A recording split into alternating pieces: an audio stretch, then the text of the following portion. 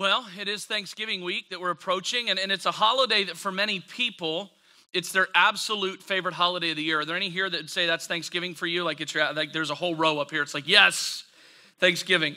Uh, you know, it's it is across our country. It's one of the most popular holidays for a number of different reasons. One of those is because it's typically a traditional family centered holiday where there's not a, a lot of other stuff to do throughout the course of the day, but just be together. But for others, Thanksgiving can actually be a harsh holiday because it can be a day of the year that reminds them of maybe what they've lost, of those individuals in their lives that were significant that are no longer here.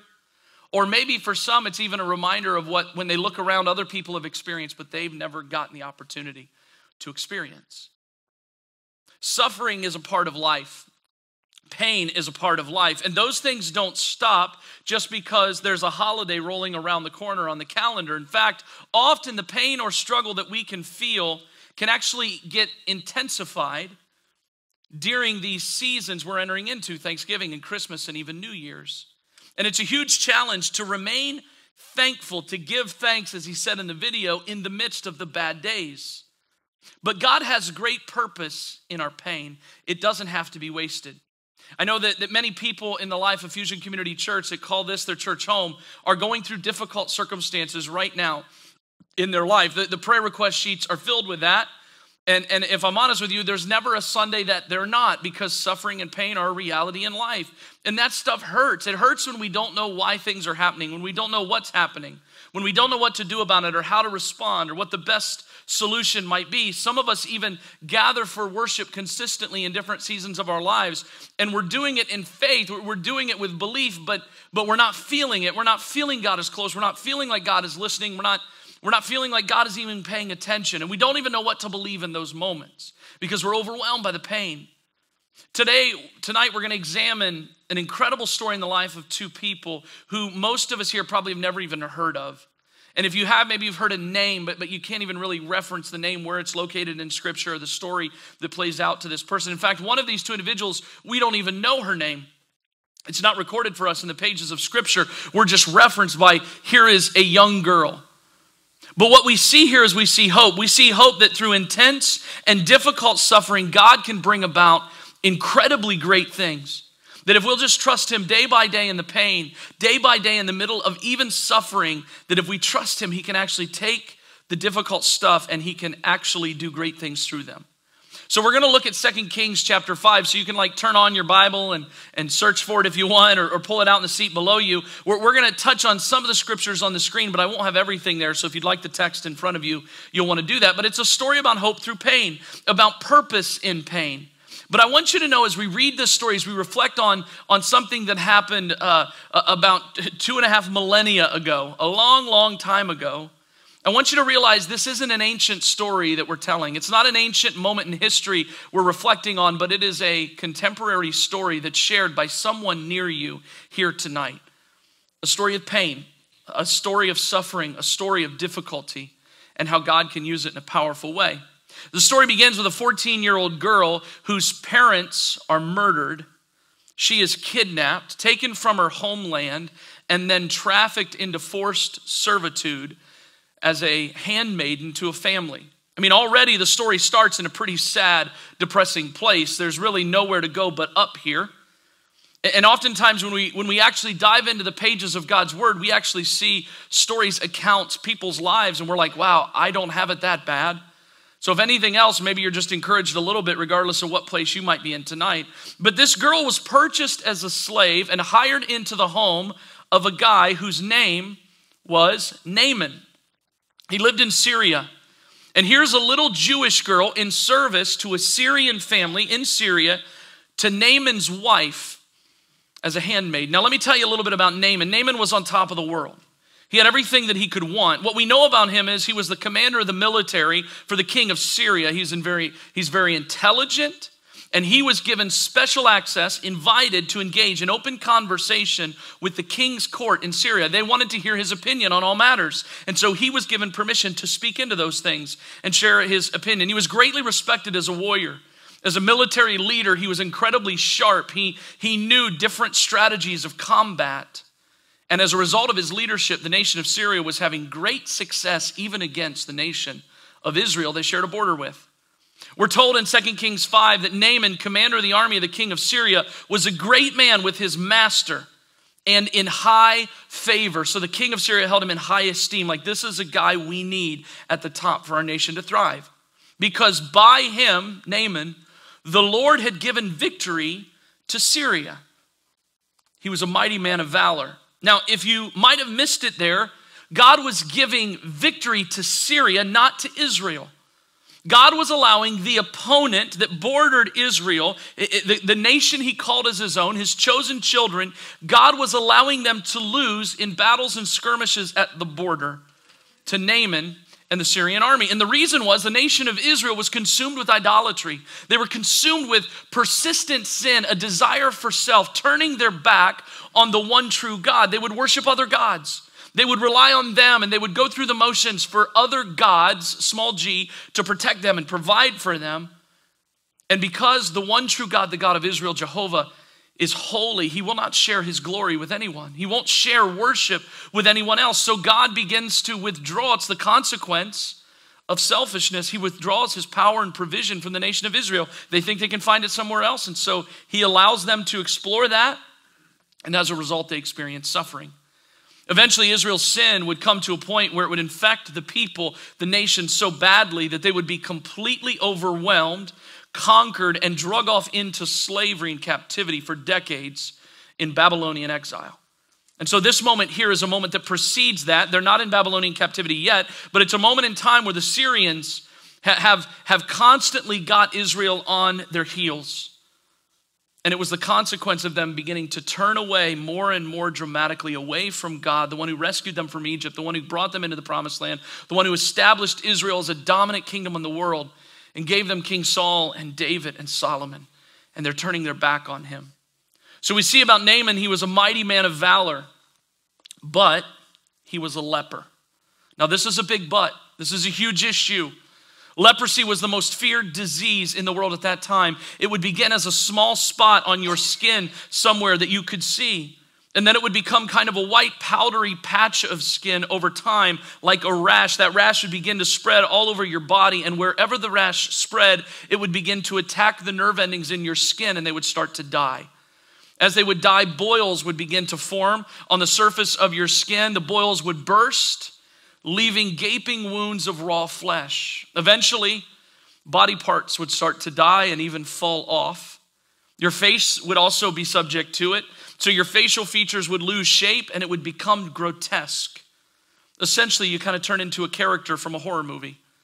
And in those days, there was no cure for leprosy. It would eventually attack your, your body with such widespread pain, discomfort on your nervous system, and suffering that it would eventually take your life. It was also regarded to be highly contagious. So, the moment that one of these spots was discovered, if you were living in Israel, if you were Jewish or Hebrew, you would be immediately banished, cast out of society, where you'd spend the rest of your life. No longer with your loved ones, no longer in society. Didn't matter what kind of uh, authority or position you had before that, it was too dangerous to keep you there. And they looked at it from a spiritual sense as well that you had unchecked sin in your life, and this was a punishment from God, which is foolish, but that's how they looked at it. And sometimes people would live a decade or two decades in isolation alone from the people that they loved.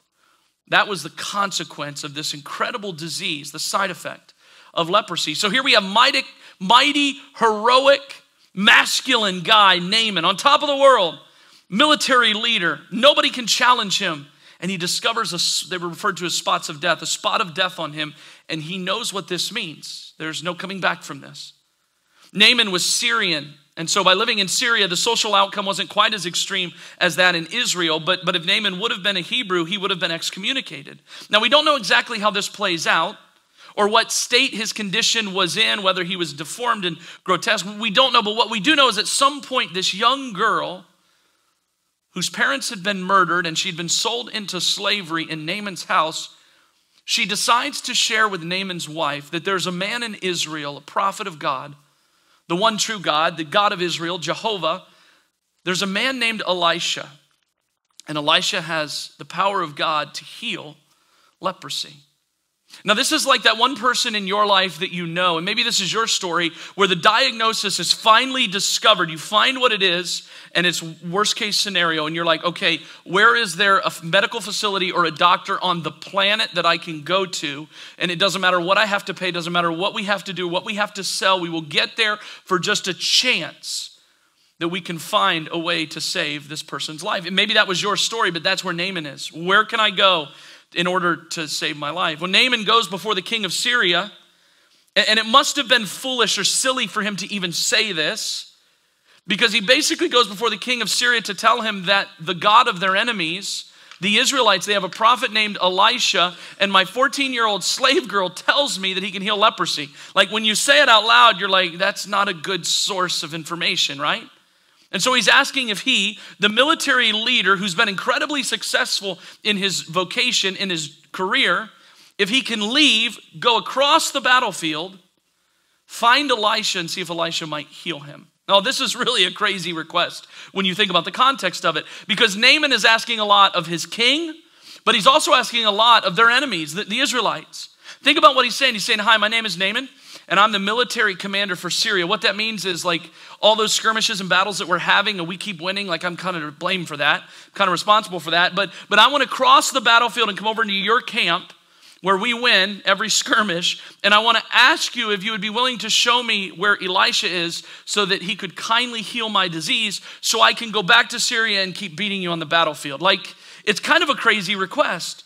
Not to mention that the Syrians have their own gods, they have their own theological framework. And so, by him choosing or wanting to go to Israel to appeal to the one true God and the prophet of the God of Israel, he's basically saying all our Syrian gods have no power. Like, all of this, it's a lie, it's a dead end. Like, this is hopeless. I've tried this, nothing has worked. So I'm ready to try our enemies. So that's kind of disrespectful to his own nation. Not to mention that when he goes over to Israel, they might say, Yeah, sure, come on over, then abduct him, torture him, find out what he knows about the art of war, and exploit that to find weaknesses in the Syrian army. Not to mention that because they're in conflict with each other, even if they receive him and say, Yeah, come on over, and he tells them why he's there, Can you heal me because I'm the commander of the military and I'm going to die? They might just say, Well, we think that's what God did on purpose, so that way we can maybe start winning some of these battles. So good luck, but you're not going to last too long. Like they, that could be their reaction. So, to all of this, the king of Syria must care deeply about Naaman, not just what he does for the nation, but who he is. And so he says, Yes. He says, Go now, which I think is interesting. He doesn't say wait till the spring. He doesn't say give us two more years on the battlefield. And then, no, he says, Go now. And then he says, And I will send a letter to the king of Israel. Now, if I was the king of Syria at this point, I would probably, I would be tempted to say, you know what, yeah, go find Elisha, but let's let's make you look like you're a Hebrew. Like let, us disguise you. Let's send you there covertly so maybe you can get close to Elisha and then maybe over time develop a relationship and then maybe he'll heal you and then you can sneak back. But the king of Syria says, no, we're going to do this publicly above board. We're going to make this big request. I'm going to send a letter to the king of Israel. And so Naaman went, taking with him 10 talents of silver, 6,000 shekels of gold, and 10 changes of clothing. Now, when we see that list, the only one we can really connect with is 10 changes of clothing. We, I, don't know about you, I don't have a talent of silver or a shekel of gold in my pocket. I don't really know what that is. But it would be the equivalent of 750 pounds of silver or and 150 pounds of gold. So you're talking 900 pounds of incredibly, incredibly valuable materials in the ancient world. And then, in addition to that, he takes 10 changes of clothing, which is interesting to me that this is captured in historical record because it's, it's kind of like, okay, I want you to go now. You have my blessing, Naaman. I care about you. The king of Syria says, You have my blessing. Go. Here's a million dollars and take your favorite jeans. Like, and just like 10 changes of clothing. It seems like an odd thing. But clothing in that day was incredibly valuable because it was handmade. And what this was most likely representative of as he was crossing over from one culture into the next he took many different garments because he didn't want to disrespect the Israelites. He didn't know exactly what festivals there might be. He didn't know exactly what social circumstances there might be. He may need to change clothes in order to, uh, to, to be proper in that culture. And so, even in Israel, even though it wasn't a great, long, long journey, um, he might have packed two or three or four or five suitcases more clothes than he could even possibly wear on that journey. Guys, do you know anyone that packs like that? because I'm being recorded, my wife does not. She only packs what she needs when we leave town, all right? But that's kind of what he did. You can almost see like all the assistants that he's got just carrying his luggage. So Naaman brings the letter to the king of Israel, which read, When this letter reaches you, know that I have sent to you Naaman, my servant, that you may cure him of his leprosy. Now, when the king of Israel reads this, he tore his clothes, a sign of distress, and he said out loud, Am I God to kill and make alive that this man sends word to me to cure a man of his leprosy? He's like, I don't, I don't control that. And so the king immediately begins to think it's a ploy, it's a trick. Only consider and see how he is seeking a quarrel with me. The king of Israel saying that this is okay, the king of Syria, he wants another battle. Maybe he wants to completely wipe us out. And so he's trying to instigate a further war or conflict. To, to be able to tell his people in Syria, we need to raise up arms because we went to Israel, we asked for help. They could help us, but they said no, we're going to destroy them. So the king is perplexed. But when Elisha, the prophet, the man of God, heard that the king of Israel had torn his clothes, he sent to the king with a simple question Why have you torn your clothes? And in this question, we kind of see Elisha saying, King, this is an opportunity. Let Naaman come now, there's that word again, now, to me, that he may know that there is a prophet in Israel. Elisha perceives that maybe God has a bigger purpose in the arrival of a disease that's infected someone of such high standing, standing in Syria's inner court. So Naaman and his whole traveling entourage Uh, of horses, chariots, uh, of guardians, uh, of, of carriers of silver and gold, of however many people he needed for all of his suitcases, whatever it is, they head up the road to the door of Elisha's house and they knock on the door. After all, he invited them to come now. But they're met at the door, not by Elisha, but a messenger of his who tells them, I'm sorry, Elisha's here, but he's busy right now. He can't see you, he's preoccupied. I mean, right here, you have one of the most powerful men in all the world, Naaman, standing at the door of a little known prophet at this time because he was invited to come there by said prophet. Now he's being told, I know I told you to come now, but I don't really have time for you right now. I mean, can you imagine if Naaman has any kind of ego, which we know he does as we read the text? This would be incredibly frustrating. Like, if you, you could almost see Naaman pacing outside the door, like, are you kidding me? He told me to come now. I pack up everything. I'm here. I've come a long ways. Does he know who I am? Does he know what I'm capable of? Do he, does he know the leadership and the influence I have of the, the enemy Syria and how dominant we've been against Israel? Now imagine you're the person that opened that door to Naaman and had to deliver this message, right?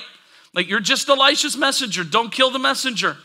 I know he told you to come now, but I'm sorry he's not available right now. And then the messenger says this, gives an instruction, which may sound simple on the surface, but wait till you hear it. The messenger says, Go and wash in the Jordan River seven times, and your flesh shall be restored, and you shall be clean. Well, Naaman was angry went away saying, Behold, I thought he would surely come out to me and stand and call upon the name of the Lord his God and wave his hand over the place very dramatically and cure the leper. I mean, Naaman's basically saying, Are you kidding me? Like the prophet's not even gonna come out and meet me. He's not gonna come see me. He knows why I'm here. He knows the letter that the king of Syria sent to the king of Israel, and he's the one that said, Come to me now so that you can know that there is a prophet of the one true living God. Like I thought I'd get here and there'd be like a little worship service going on, like a little ceremony, and there'd be a band and they, would be playing this really inspirational, up tempo worship music, and it would be setting the mood, and they might dim the lights, and, and everybody would kind of be celebrating and worshiping God, and somebody would pray, and then he'd anoint me with oil, and he would touch me, or he would like at least dramatically wave his hand across the leprosy and, and say in a really funny voice, Be healed. Like that's kind of what Naaman is saying. He's like, is, isn't there more than this? Isn't there some kind of like production? Naaman, Naaman is very, very irritated. He's almost in a rage at this idea. And a part of that is the thought of traveling so far and then being told to go for a swim in the measly, small, simple, dirty Jordan River. At this thought, he says this immediately Are not Abana and Pharpar, the rivers of Damascus, better than any water in Israel? Could I not wash in them and be clean? And so he turned and went away in a rage. One of the things you don't see if you don't study God's word, that you can just read past this and not see, is the instruction the messenger was giving him, what Naaman would have known, what the messenger would have known, what Elisha knew in that moment, was the instruction he was giving him was to go to the Jordan River 15 miles away, not in the direction of Syria, but completely out of the way. This wasn't an accident, this was an intentional instruction. In the midst of all of this, Naaman is frustrated. He's irritated. He feels less than how he's treated in Syria with his position and power. But he had a few servants there with him that cared about him enough to say, My father, Naaman, it is a great word the prophet has spoken to you. Will you not do it like you've come this far? Has he actually said to you, he's promised to you, wash and be clean? Like, were those his words? And basically, a couple of his attendants try to calm him down and tell him, Naaman, what have you got to lose, man? You've come this far. He said, if you do this, you'll be clean. Yeah, I know 15 miles, it's a long way. I mean, there's a big posse of us, and it'll take a lot of work to gather everything up and create rations and then set out and begin that journey. But but maybe we should just go by the Jordan River. I know it's in the opposite direction, it's completely out of the way, but maybe you should just take a dip and see what happens. And if nothing happens, you know what? Let's just go home and let, us let's, let's mount up an army. Let's come back to Israel and let's just wipe them off the face of the planet. Like if this is all a big scheme, if this is all a big trick, and and they're getting enjoyment out of your suffering, let, let's just let's just let them know how powerful we really are. Well, reluctantly, Naaman agrees to this strategy to go and just at least see. So they set off for the 15 mile journey. Now, I want to pause for a minute because, like I said, if, if you don't study the Word of God and you just read it, you miss the, the compelling context of what's really happening here. I mean, Elijah, Elisha, the prophet of God, thought that Naaman arriving with leprosy was an, a moment that God had initiated. It was a divine opportunity. And if Elisha believed it was a divine opportunity that God had orchestrated, it would seem to make sense that Elisha would then come out to meet Naaman right there in the village, right there outside of his home, and, and, and, wave his hand or touch him and heal him immediately so that Naaman would know forever that the God of Israel is the God who's alive, the God who has power. Wouldn't he do that? Surely Naaman has cried out to his Syrian gods over and over again asking for healing. Surely he's tried other routes to discover that power, and nobody else had the power Naaman needed. And now, after this long, arduous journey, all the money he brought to pay for healing, all with the hope of the one true God of Israel, maybe the one true God of Israel actually exists. Maybe he actually has power, and he doesn't receive an answer to his prayers immediately on his timetable. How often are we guilty of the same thing? God, I've been dealing this with a long time. I've, I've tried every route. God, when are you going to show up? We get frustrated, we get irritated because our prayers aren't answered on our timetable. Oftentimes, when we're suffering, when we're in pain, or someone we love is in pain, like we pray fervently, we pray desperately, really from a place of desperation. We have nowhere else to turn, God, but you. We pray emotionally, and there can be tears, and, and there can be heartbreak, and, and there can be this intense desire to do whatever God asks of us. Some of us will even bargain with God, right? Because we're so desperate. Yet, oftentimes, God does not normally answer our prayers when we want Him to. But that doesn't mean God doesn't hear us. Doesn't mean that God doesn't care. It doesn't mean that God doesn't have a plan. He most certainly has a plan. But normally, through the pain and the suffering, there's something God wants to do in us and in other people, as we just sang about in that song, in the waiting, in the unknown. If this military leader was already irritated by arriving to the king of Israel and he couldn't do it, and arriving at the house of Elisha and he didn't even come out to meet him, imagine how much he will be stewing in a rage every step of that 15 mile journey toward the dirty, small, insignificant Jordan River. I mean, with each step, the rage would be building and building and building till they finally arrive.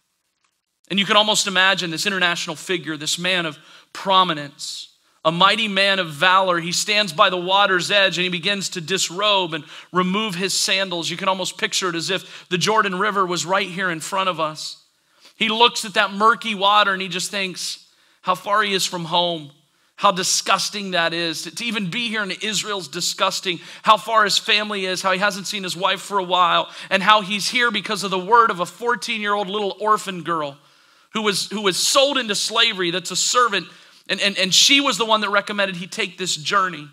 I mean, he's probably even at this moment kind of feeling silly. Like all of this was on the word of a teenage girl. What does she know? The cost of the trip, the distance they traveled, all based on the word of a young, hurting orphan slave girl. In my mind, I think about this moment in history, and I imagine this guy kind of, as he disrobes, beginning to step into the edge of the river and walking down 10 or 15 feet, finding himself up to his waist, and turning around and seeing his whole entourage that's traveled with him from Syria. You know, the, the, the horses and the chariots, they're parked on the edge of the water, and, and those tending to the gold, those tending to the silver, and all those people with the suitcases you know, everybody on this journey with him. And there he is. And he's like, all right, here we go. We're here, still kind of stewing mad. And so scripture tells us he dipped himself seven times in the Jordan according to the word of the man of God. And so you can almost see him like, okay, once, nothing, right? Twice, all the way under, nothing. Everybody's looking on. Three times, dips under, nothing. Four times, dips under, nothing. At this point, if, if I was there on the edge, my sense of humor, I'd begin to snicker because this is kind of silly looking. Like, here's your leader out there wearing hardly anything, dipping in the water because some guy he never met before, his messenger told him to, right? Five times, dips under, nothing. Six times, dips under, nothing. And then the seventh time, he goes down according to the word of God and his flesh was restored like the flesh of a little child, and he was clean. You ever went in one moment time from burning anger and furious embarrassment to immediate joy and weeping in a split second? I don't think I've ever experienced something that would be such a dramatic emotional change in such a short amount of time as Naaman would have experienced that day in the Jordan River. I mean, it challenges our understanding of God and our theology when we recognize Naaman did not step into the Jordan with faith that the God of the universe was going to show up. He actually expected him not to.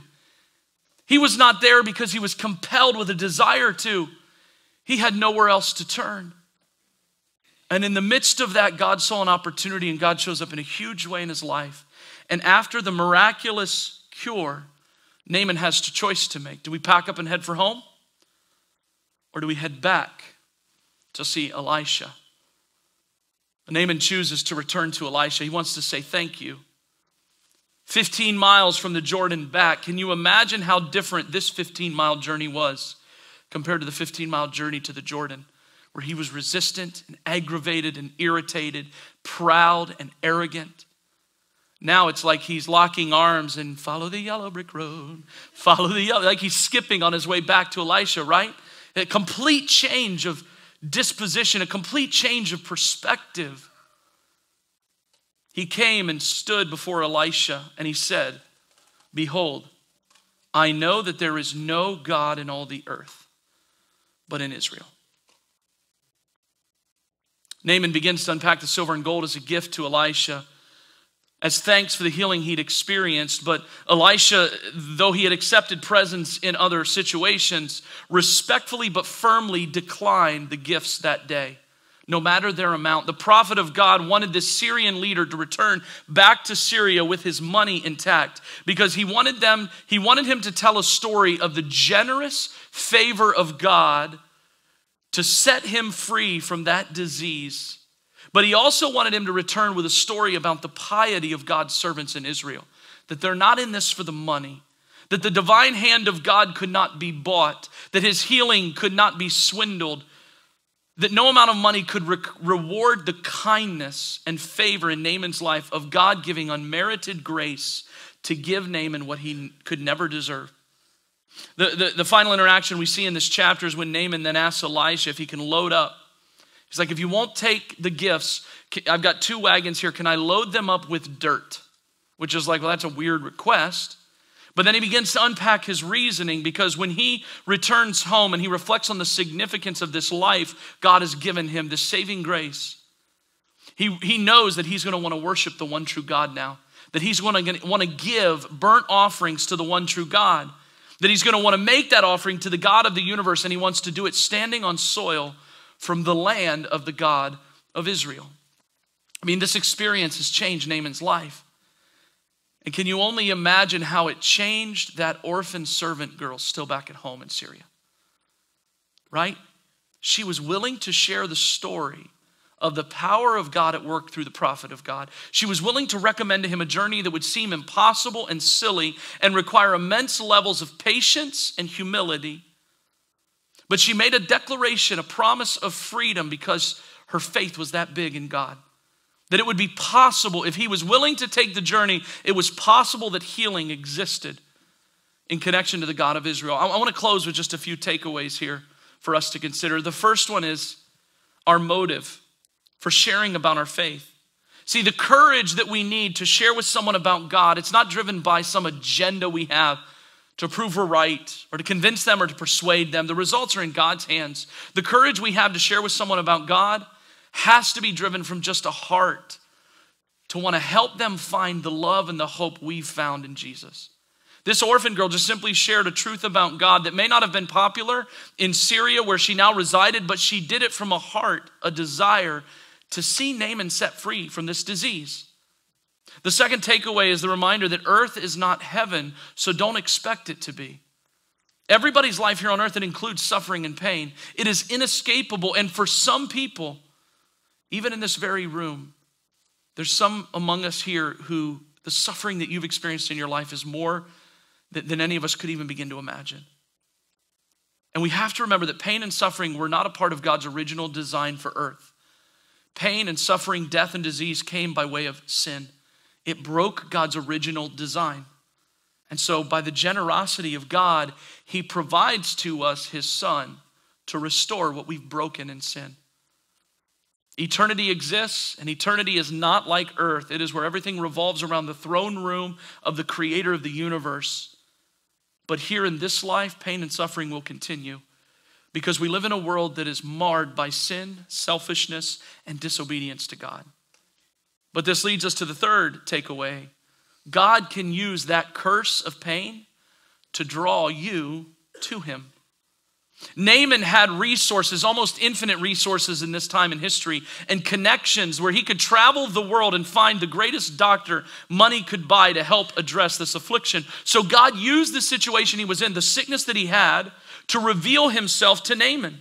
And even though Naaman resisted going to the Jordan, he resisted getting in the water, he wasn't there with the right heart, God extended unmerited grace to Naaman and healed him even when he lacked the faith and didn't deserve it. Almost immediately, this healing in, in Naaman's life leads to his salvation. Through his pain, Naaman discovers who God is.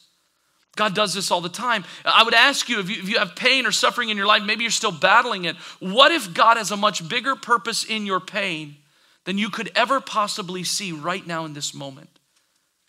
See, this story, Naaman and the 14 year old servant girl, it's all about how God continually, without hesitation, pursues his lost children to show them his love, to show them his acceptance. God was pursuing Naaman to show him how much he loved him, even using Naaman's own pain to show him how generous his heavenly father could be. But there's a fourth part of this God can use the curse of pain in this world to draw others to his love for them. If you already know Jesus and you're going through suffering and pain, difficulty in life, God may use that so that others will be drawn to Him through your struggle. Imagine how much pain the orphan servant girl experienced in her life before she reached the age of 14.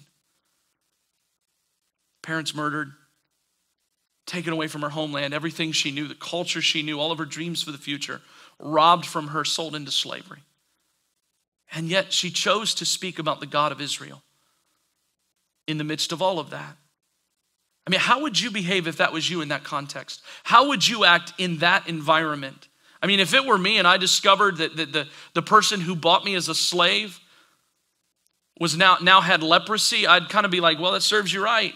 for being a slave owner. Now you're going to die a long, slow, painful death, and I'm younger than you, so I'm probably going to watch it happen. I mean, it'd be so easy to be bitter and angry after losing so much, but this girl really is the hero of the story. It's not Elisha, it's not Naaman, it's this girl. Because she allowed her pain and her suffering to be used by God to bring one more person to the Savior of the world. This sweet little 14 year old girl, whose name we never know, gives us one of the clearest Old Testament pictures of Jesus that we find. I mean, think about it. She was suffering by no fault of her own. She didn't choose it. It wasn't the consequence for her sin. She was just suffering. In fact, part of her suffering was actually caused by Naaman's sin. He was the military leader. He was responsible for the victories that they had. And so when they came in and they conquered a city, all of a sudden her family and friends are killed and she's taken away and sold into slavery. And yet she chose to forgive him and to desire good for his life. What's more, her suffering becomes the means of his salvation. Had she not suffered what she suffered, she wouldn't be in this situation working in his home for his wife, and Naaman would have never heard the name Elisha or the power of God at work within him. In the same way, our salvation, our freedom from our sin comes through a suffering servant like this little girl. Jesus, hundreds of years later, would suffer not for his own sin, but for ours. And like her, instead of hating us, for causing his, his suffering, Jesus forgives us and he keeps loving us in a way in which we could never merit. And his suffering becomes the means by which our sins can be washed away. After all, he was wounded for our transgressions, crushed for our iniquities. Upon him was the punishment that made us whole, and by his bruises we are healed. The prophet Isaiah prophesies for us. The final takeaway everything good as good as it can be in your life, and everything bad, the most horrific thing you've ever experienced, it is always about finding Jesus. Always. We're told in Scripture that every good and perfect gift comes from God above. So, the best in your life, the thing you're most thankful for, even the next breath in your body, is a gift from God. But we're also told in the Word of God that anything that happens that's evil or horrific or bad, God has the power to turn for good. That's who He is, that's what He can do. So even suffering can be an, a God ordained means by which God can bring salvation to others. It's not because God causes suffering. Suffering is the, the, the consequence of sin in this broken world, of selfishness that just runs rampant within our flesh. But God can even use the consequences of sin, like in this girl's life and in Naaman's life, to bring salvation. And this ultimately leads Paul to say this to the church in Colossae. He says, I'm glad when I suffer for you in my body. I'm glad. For I am participating in the sufferings of Christ that continue for his body, the church. There's a purpose in the pain. So, very simply, two questions to leave with you. One, if you would say you're a follower of Jesus, and one, if you would say you're not quite sure where you come down yet in faith. For those who are Christians, I would ask you, would, would you are you willing to align yourself with Jesus where your suffering can be a means of salvation for someone else? Will you say, God, you can use me and use me in any way that you want to use me? And this week of all weeks at Thanksgiving, can it be a Thanksgiving where you can choose to be thankful for your pain so God can use it to rescue someone? If you're here tonight, you say, you know, I'm not, I don't know where I come down on this faith thing yet. I don't know if I'm a Christian or a Jesus follower. I want to ask you, eh, all that's required to come to Jesus is humility and faith? Did you have the humility to, to come to Jesus, the faith to come to Jesus and just ask, just inquire? Humility to admit, you know what, I don't, I don't know that there's any other path. I don't know that there's any other path I could make to ever reach God because I think He's just too far above me. And then the faith that brings you to the place of saying, you know what, I believe God is good, I believe He cares about me. And if I can't save myself, I have to believe if He's good that He's given me a way when there seems to be no way. He's given me a Savior. And you can reach out in faith and receive the gift of grace. I don't think it's an accident in any way, shape, or form that this morning at a little after 8 a.m., I received a text as I was in my, my office going over the message for the morning services about a prayer request for a family that is in the middle of suffering and pain a family that's connected to a family in our church that are dear friends of them. They have a son who's 25 who happens to have the same first name as me. His name's Andy. He's had strokes, he's now in a coma. His parents are Jesus followers and they're just reaching out for people to carry him before the Father. So as we close tonight, we're going to pray over Andy and his family because God does have purpose in pain. But I also want to invite you just now, would you bow your head and close your eyes? If there's something that you're navigating in life, something you're carrying, and you just want to admit to God, you know what, God, there's something that's overwhelming me. I want to invite you just to raise your hand. I want to pray for you as well. Just lift up your hand, just admit, admit it before God. Say, God, there's something big going on in my life. It's beyond my capacity or control. I need you to step in and help. There's hands all over the room. Just keep those hands up. And then I want to ask those of you who would say, you know what, it, maybe it's not you personally, but there's someone in your family, a friend of yours, someone you work with, someone you care about. They're going through something they cannot control. It's bigger than them. Would you just lift your hand up kind of stand in the gap for them? Awesome. Across the room. You can put your hands down. We're just going to pray. Lord God, we lift up Andy and his family. We lift up the unknown, not knowing how things will turn out.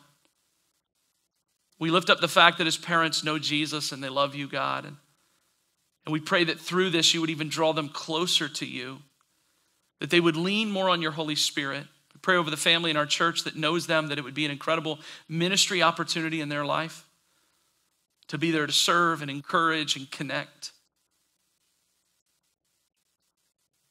We pray over whatever home church they're a part of down in Otsego area. And Lord, we just pray that you would just rally around that family in their time of need. God, I also lift each and every person up here that's identified a struggle in their own life, a battle. Lord, I pray that, um, that God, you would meet them right where they are in that. Would you help them to see that you are there, that you are walking with it, you're walking in it with them, that you will never leave or forsake them but your Holy Spirit is present. Would you help them to cling to this promise that there is purpose in the pain? Lord, I pray for those who acknowledge that there's someone they care about who's in over their head. Lord, this world we live in, this idea that God will never give us more than we can handle, that is so not true. So not true.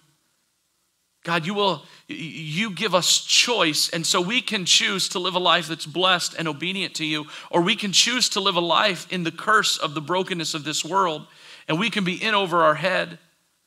And God, it's when we're in over our head that we begin to reach up and ask for your help. It brings us to that place of desperation, like Naaman is, that walks 15 miles in a direction he doesn't want to walk because he doesn't believe you're there, but he's desperate.